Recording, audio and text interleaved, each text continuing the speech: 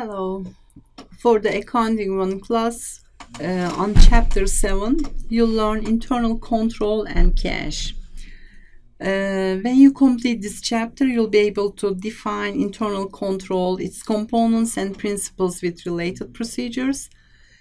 You'll describe the impact of fraud on financial statements, apply internal control over cash receipts and payments, describe the bank account as a control device, understand the way of reporting cash, and using cash ratio. Therefore, on the chapter, you'll see the internal control title, fraud title, internal control over cash receipts and payments, the bank account as a control device, reporting cash, and using cash ratio titles. Okay, you know, in the uh, business entities, management are responsible to manage the company and to control the company's activities. Therefore, uh, management's responsibility to control the company's activities is related to internal control. So, internal control is a process effected by an entity's board of directors, management, and other personnel designed to provide reasonable assurance regarding the achievement of objectives relating to operations reporting and compliance. So the objectives of internal control are to provide reasonable assurance that assets are safeguarded and used for business purposes. Business information is accurate and employees comply with law and regulations. Okay, it is very important. Uh, manage, management of the company is responsible safeguarding the uh, company's asset and all the assets will be used according to the uh, plans and business purposes. And produced information must be accurate. So, uh, recording process, accounting information system must be accurate. And also, uh, companies, employee, workers, uh, they must uh, comply with all the law and uh, regulations.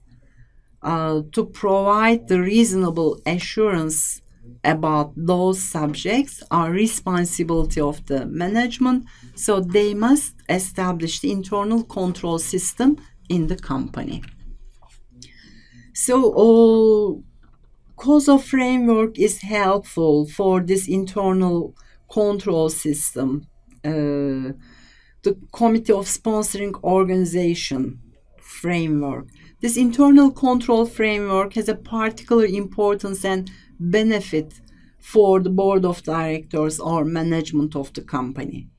So, this uh, internal control framework has five components control environment, risk assessment, control activities, information and communication, monitoring activities. And uh, even there is a very good internal control system. There can be still some uh, frauds, mistakes, or errors. And uh, fraud, when we say fraud, fraud is an intentional misrepresentation of facts made for purpose of persuading another party to act in a way that causes injury or damage to that party. But error is an unintentional misrepresentation of some items. The difference between term error and fraud is based on intention. Of course, the internal control system is trying to eliminate all the errors and frauds. Uh, so, uh, establishing the internal control system, control environment, uh, accounting information system or documentation a lot of uh, things can be uh, made by the company's management and uh, at the top board of directors there can be two types of fraud or we can classify basically under two titles uh, according to the uh, their impacts on the financial statements, misappropriation of assets, fraudulent financial reporting. Okay, in accounting uh, book, actually, uh, we are not going very details of the con internal control, but to explain the importance of accounting information system or recording or documentation, we are uh, looking at this type of event. Because you know uh, if uh, employee of the company uh, is using the company's assets for their own uh, interest company business entity will lose or sometimes uh, if they cannot safeguard the assets some of the assets can be broken or stolen. Therefore, uh, to explain the importance of this documentation and establishing the system, we are giving some uh, a little bit information about the internal control. And for the uh, fraud uh, triangle, triangle, the description of the factors that may cause fraud uh, risk uh, is related to this fraud triangle. And three main uh, part or events or major parts are important. Components of fraud triangle are pressure, opportunity, and rationalization. So when you establish the internal control system, you have to uh, be very careful. You will not give any opportunity. Uh, and you know if someone uh, decide about to make some bad things uh, in the company they can make rationalization. And uh, if they have some opportunities they can go further and uh, there can be some pressure. Don't force your employee a lot or you don't uh, i mean you have level of pressure is very important. If there is very low pressure they will not uh, make anything. If there is a very high pressure uh, they can make some different things. When you uh, establish the standards or uh, for the other things you have to be careful. And cash is very uh, liquid asset in the companies and uh, it is very uh, easy uh, to use the cash for uh, different purposes. It can be stolen very easily.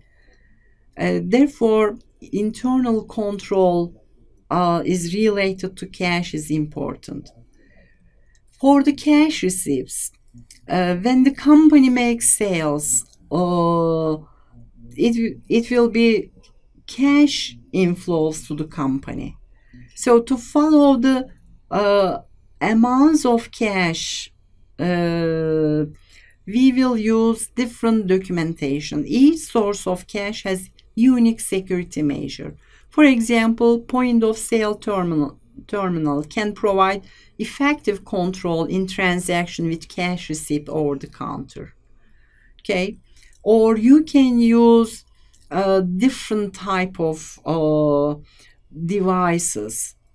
Uh, business should consider to design more complex and formal control procedures. There are some ways to improve the effectiveness of controls over the counter, such as using an improved software giving responsibility, responsibilities to the different employees uh, will be uh, important or necessary steps. We have to control cash receipts. Uh, we have to have some system. Again, for the uh, cash payments, there must there must be some internal control uh, procedures. Uh, when while making some payments, most important principle is again separation of duties. Good separation of duties between operations of the business and writing checks for cash payments should exist. And uh, also, some companies use technology to make secure payments. Instead of writing check, uh, they can use electronic fund transferring uh, system or similar systems. And uh, you can use the bank accounts instead of keeping the money uh, in the company. Just uh, for the small expenditure, keep very few amount of money in the petty cash fund and uh, other amounts, other cash uh, can be deposited to the bank accounts. It will be very important for the internal control purposes. So bank accounts uh, are very helpful tools as a control device. A bank will uh, safeguard the company's money uh, and also uh, to make deposit or to take money from the bank uh, you can use uh, signature cards deposit tickets checks and uh, electronic funds transfer. And also uh, bank will follow uh, their records and you will follow your records. But the other side of the event is bank. So uh, you can check the uh, correct uh, correctness or similarities or differences so bank reconciliation is important for the internal control purposes the bank reconciliation compares and explains the difference between cash on the company's books and cash according to the bank's records on a specific date. So you can uh, try uh, to find the reason why there are differences, if there are some differences. and company's cash amount, uh, you know, cash is an asset so cash will be reported on the balance sheet.